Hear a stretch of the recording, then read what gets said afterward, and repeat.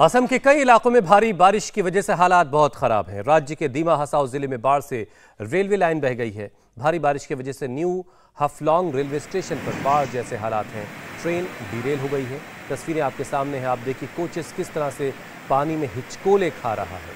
किस तरह से ट्रेन जो है वो डिरेल हो गई है पटरी से उतर गई है और रेलवे स्टेशन पर हर तरफ़ पानी ही पानी भरा हुआ नज़र आ रहा है।